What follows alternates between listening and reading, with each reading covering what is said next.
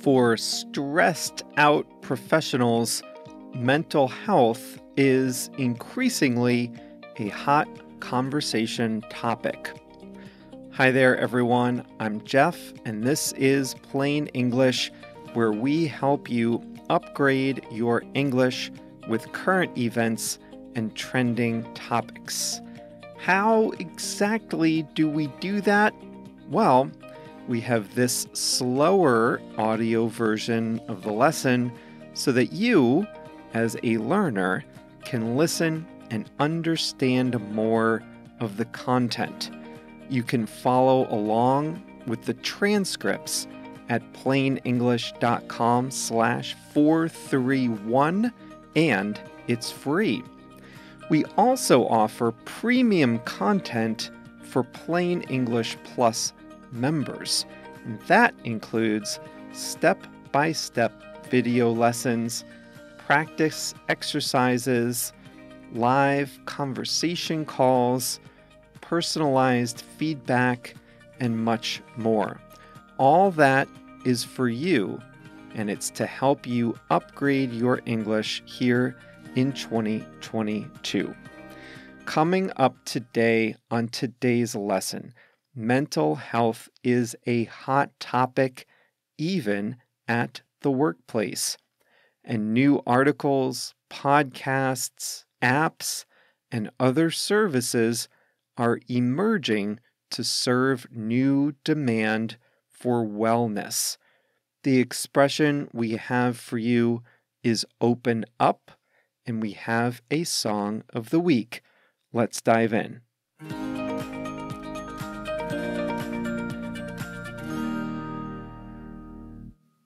For many years, mental health and wellness carried a stigma. Depression, seeing a therapist, or being on medication for anxiety, these were things that were only whispered about and only among intimate friends and family. In the years prior to the pandemic, society, at least in the West, started to open up about such things.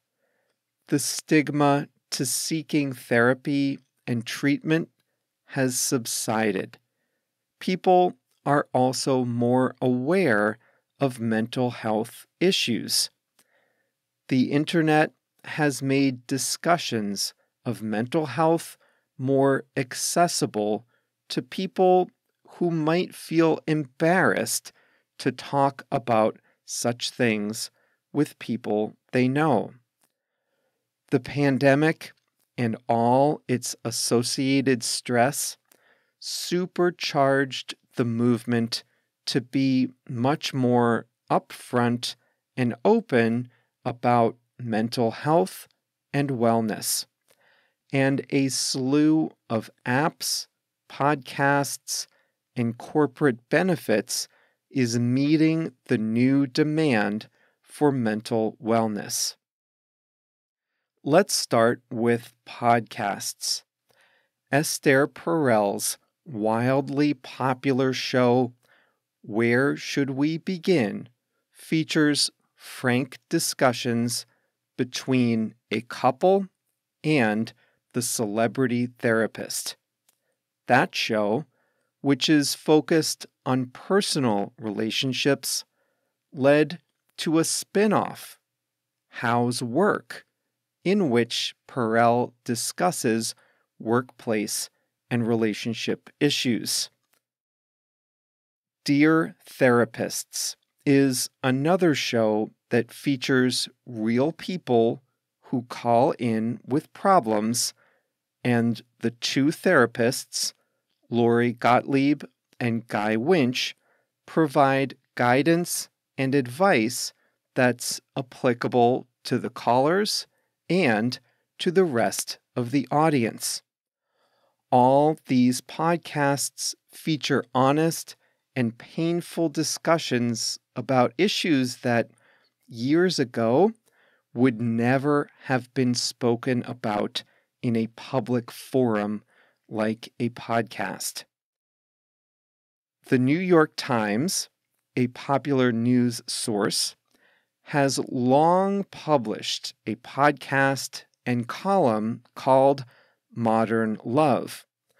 But the newspaper has supercharged its coverage of mental health since the start of the pandemic. Its health section now regularly features mental health articles.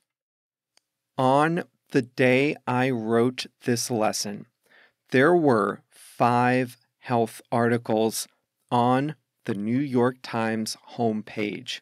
Four were mental health related. Here are the headlines An overlooked cure for loneliness. Next, five minute resets to counter anxiety. Then, how to get things done when you don't want to do anything.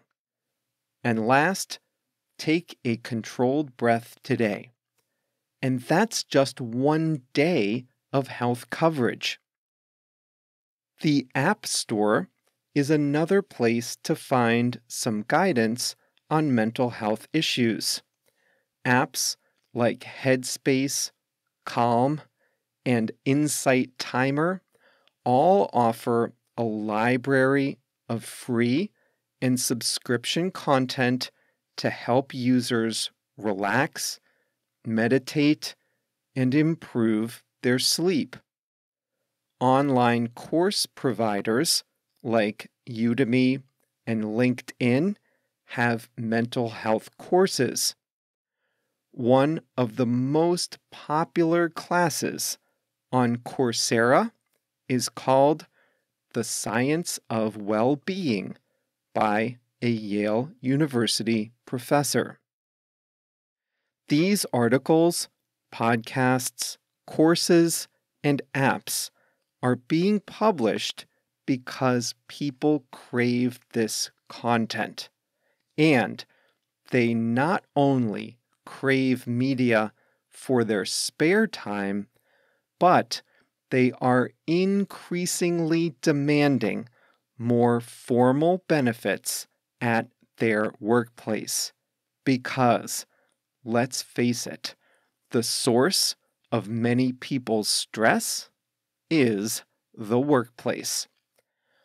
Prior to the pandemic, a strong majority of American workers said that mental health issues were something that should not be addressed by employers. But after the pandemic, that all changed. Now, over 60% say their employers should take an active role in employee mental health. Many large companies are responding. They ask about employees' well being during their periodic employee satisfaction surveys. Others offer benefits such as free counseling sessions and subscriptions to meditation and wellness apps. Starbucks offers free online therapy sessions. I've seen job postings that specifically highlight a free Headspace subscription as an included benefit. One startup called Lyra targets employers. Employers subscribe to Lyra and offer it as a benefit to their employees. Workers can log onto the site and describe any problems or concerns they have. Based on their input, Lyra matches them with either a coach or a therapist for online counseling. Over 2 million people have sought care in this way. Lyra is outcome based, so employees have access to a limited number of hour long sessions to achieve a specific goal. Long term care is still best addressed with traditional coaching or therapy. Speaking of that, though, many traditional providers of coaching and traditional therapy are starting to deliver those services online, which is increasingly where patients are demanding it. Some apps are pushing the boundaries of traditional therapy. If you listen to enough podcasts, you'll probably hear ads for TalkSpace and BetterHelp. These apps let subscribers access a licensed, trained therapist by messaging, voice, and video rather than by traditional office visits. At about $65 per week, this is a savings over traditional therapy, but it's not cheap either. And the long term effectiveness of therapy by texting is yet to be seen. These two are both gig economy companies, so their therapists are independent contractors. In 2020, a group of TalkSpace therapists released a public letter airing grievances about low pay and bad working conditions. Their complaints sounded oddly similar to those of Uber and delivery drivers. That's probably not a good mindset for therapists to be in if they're trying to help others. Another question is privacy. Although the stigma around seeking help with mental health issues is fading, most patients don't want their specific concerns to be known. BetterHelp shares device ID data with marketing partners, though it says the contents of conversations are kept private. In Finland, an app called Vastaamo suffered a hack exposing the unencrypted therapy notes of its users. Hackers then blackmailed patients, threatening to expose their private data about addictions and extramarital affairs. The space is lightly regulated at the moment, but governments are likely to respond by tightening privacy restrictions. The European Commission is preparing to release a grading system that evaluates apps on data security and safety.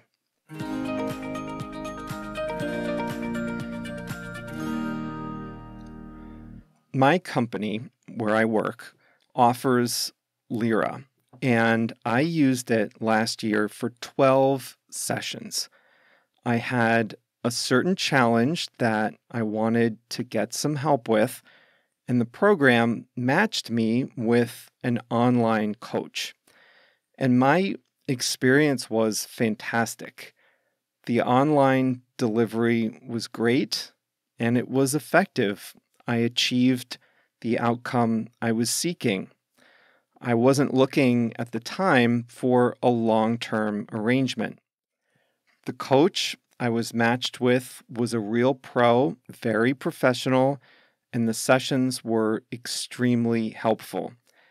In addition to our sessions, they also had a library of short courses and videos that I could do in my spare time, and the, cho- the coach chose a selection of Lyra sponsored videos for me to watch between sessions. I found it very helpful.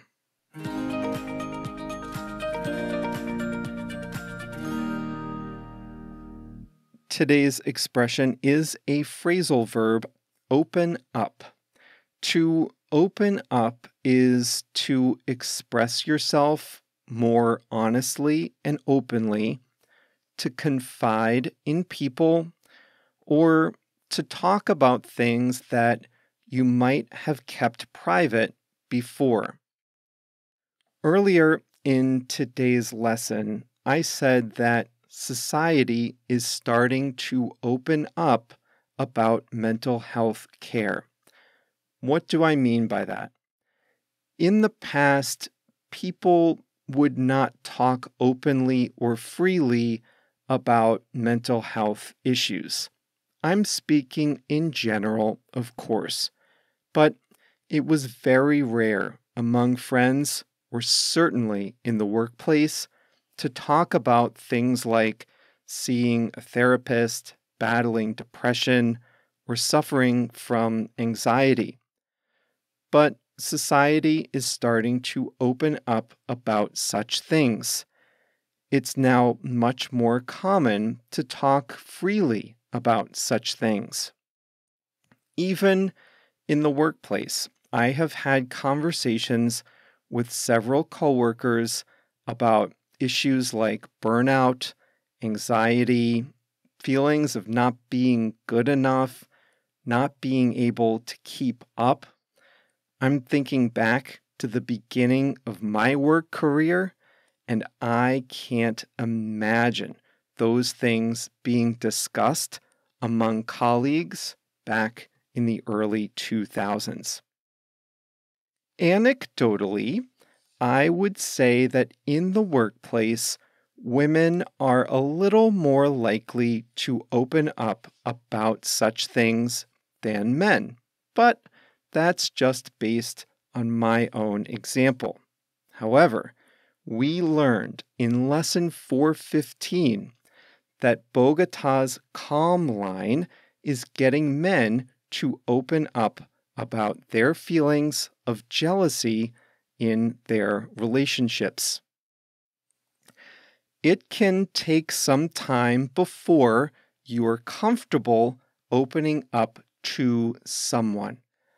If you've recently married, then you know that two families have to come together and get along together.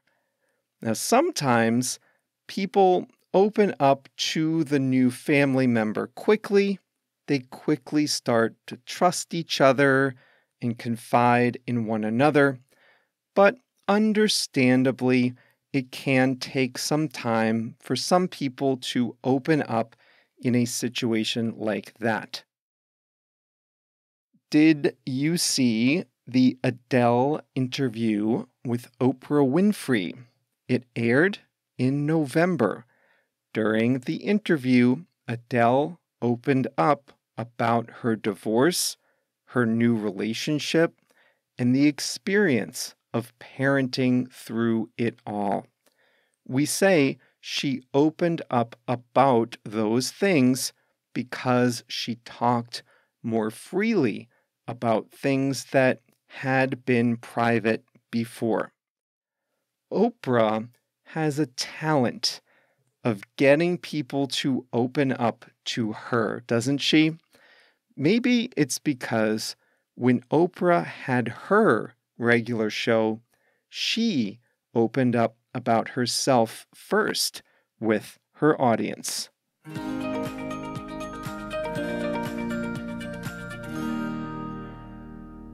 It's Thursday, so JR has a song of the week for us.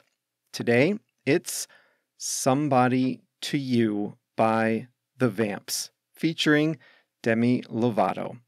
It's a really upbeat song, high energy. The line I like best is this one Everybody's trying to be a billionaire, but all I want to be is somebody to you. I really like this one, so thanks, JR. Somebody to You by The Vamps. And that is it for today's plain English. Have you tried any meditation or wellness apps before?